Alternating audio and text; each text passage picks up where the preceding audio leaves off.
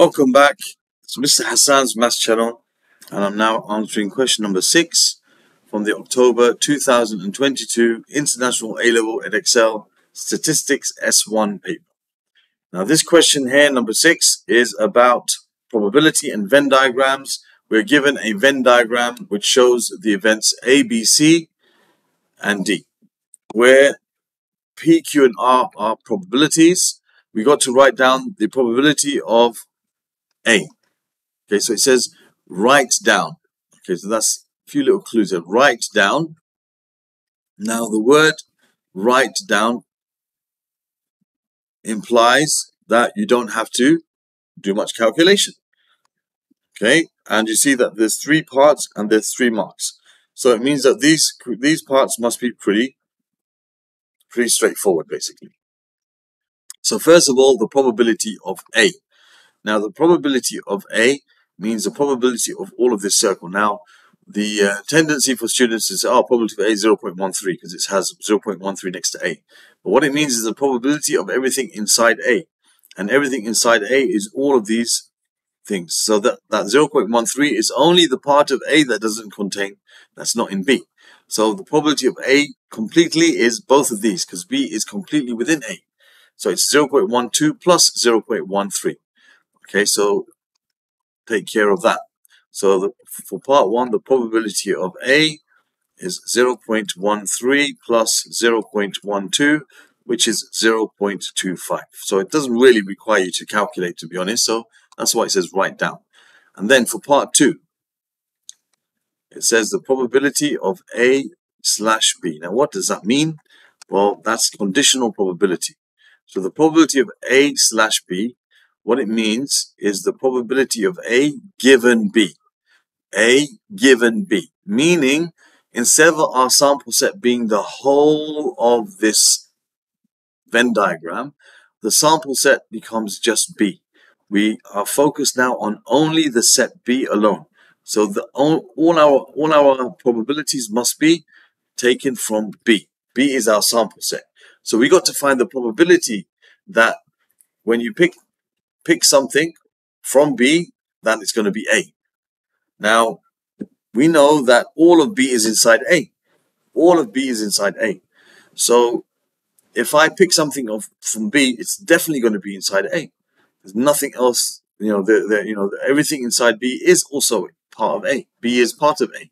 So the probability of this is going to be just one. It's, it's certain that if I pick something in B, it's going to be in A. Okay, because B is contained within A.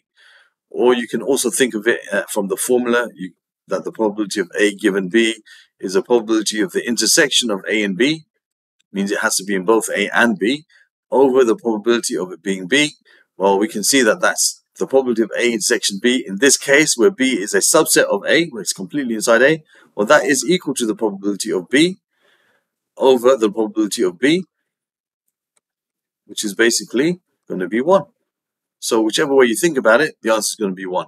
So you only have to just think about this. You don't have to show any calculator. You can just put 1. That's fine. And then part 3 says, find the probability of A given C. Now, A given C. So here now, what we're going to do is we're going to change our sample set and make it just C alone. So this is our sample set. We're now looking at this as our sample set. We can only choose from C. Can't choose from anywhere else. So we've got to find the probability that something is from A, given that we're only looking at C. So if we're only looking at C, and we're trying to pick something in A from C, well, there's nothing in C that belongs to A. So the probability of this is going to be zero. And again, we can think of it as the probability of A given C is equal to the probability of the intersection of A and C over the probability of C. Now, the intersection of A and C is zero. It's an empty set.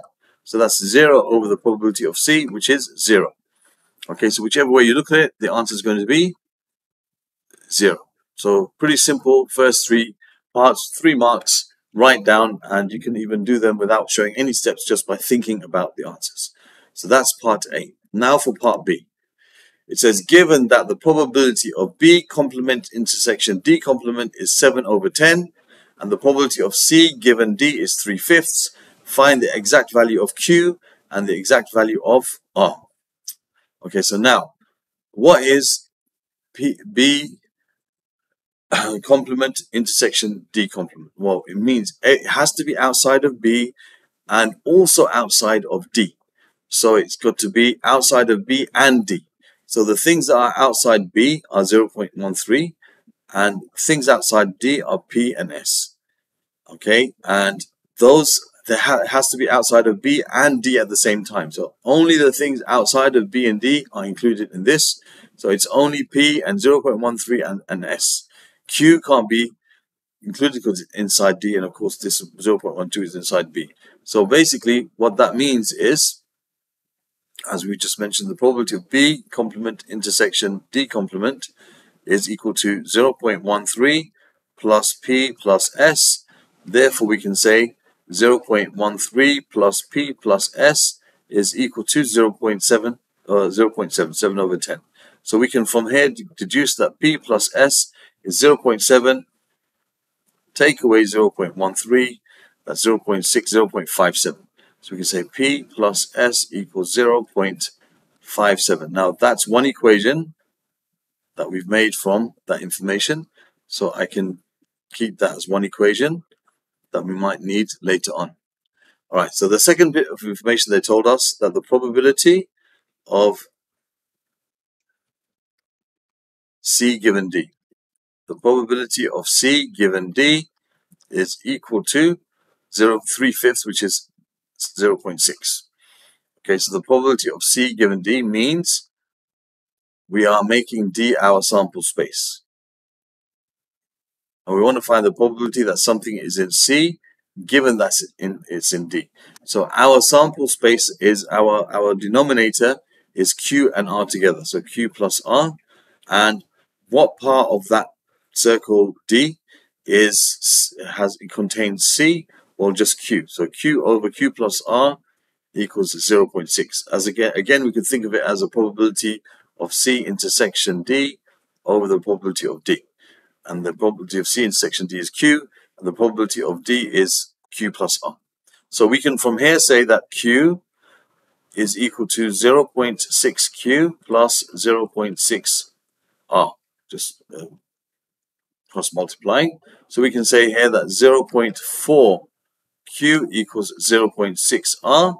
So now we can say that Q is equal to 6 over 4, which is 3 over 2R. All right. So now that's another equation that we have formed from our information that we're given. So we were given two bits of information and we formed two equations, but the, the issue here now is we have three unknowns, P, Q, R, and S, in fact, four unknowns, right? So that's not enough equations for us to, to solve the problem. However, there is another equation that they didn't tell us directly, but we should know that the probabilities are related to each other in a whole situation is that they all should add up to 1. So I can make another equation from that. So I can say that the sum of all these probabilities, which is P plus Q plus R plus S, all of those, plus these two, which is 0.25, they must add up to 1. The sum of all the probabilities in any situation is 1. So now I have P plus Q plus R plus S equals 0.75. That's now a third equation I've now formed. Okay, now what I can see from these three equations, if I look at them, I can try to see a way to solve them to find what one of the letters are. Now, one of the things I can see is P plus S. P plus S is equal to 0.57. So if I take the P and the S and add them together, P plus S plus Q plus R equals 0.75. I can take the P plus S and replace it with 0.57. So I can say 0.57 plus Q plus R equals 0.75.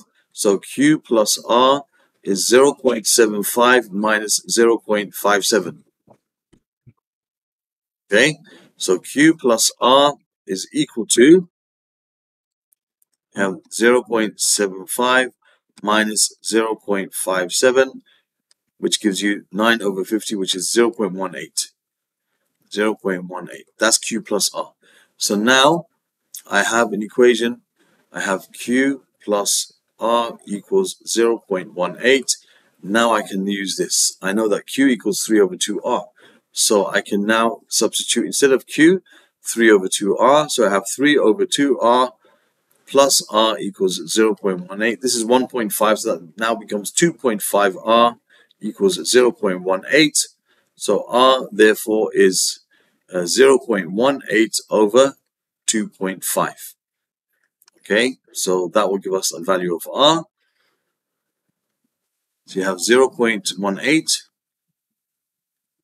over 0.18 over 2.5 and that gives us 9 over 125 which is 0 0.072 okay that's the value of R. Good.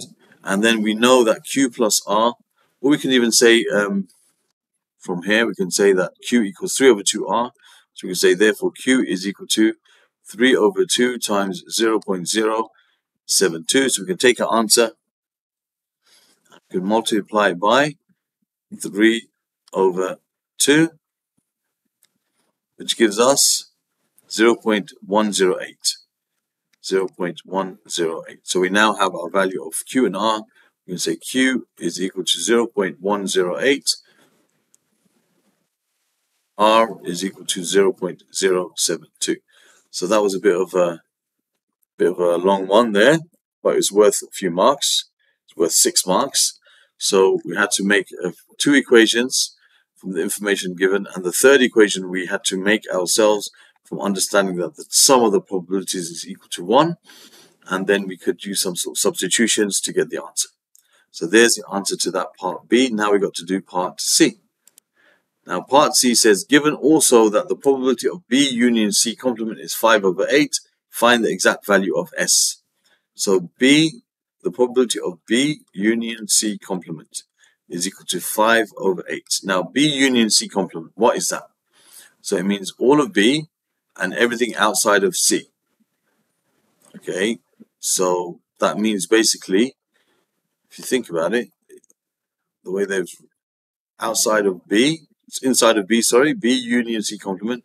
That means you include all of B and C complement means everything outside of B. C, sorry, it's that, that, and that. All of those together, they give you 5 over 8. Right? So they could have just mentioned C complement. B union C complement. That would have included that as well anyway.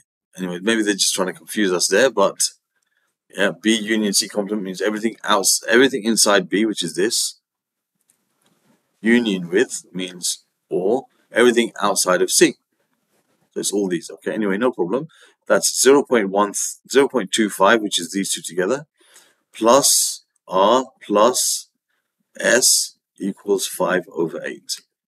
Okay, so now we want to find the exact value of S. So we know something about R and S from here, do we? From before, one of our equations was P plus S equals 0.57. Okay, oops. We had P plus S equals 0.57. Okay. Um, and well, what else we, we oh we have the value of R actually. We, already have the value of R. What am I doing? We know the value of R already. The value of R is what we found here, which is 0.072. So that's that's fine. So we know that R is 0.072. We already found that 0.072. So now we can find what S is very easily.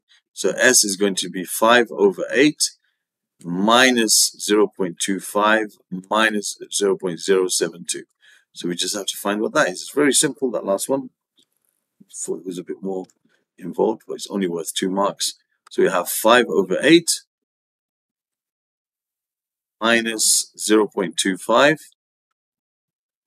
minus 0.072, which gives us 0.303. 0.303, and that's the value of S. And that concludes this question. Okay, so that's question number six from the October 2022 Other questions from this S1 paper can be found in the playlist over here. That's from the October 2022 exam. Other questions from probability and Venn diagrams from S1 in this playlist over here. You can subscribe to my channel by clicking on the link in the middle. Thank you for watching and see you soon.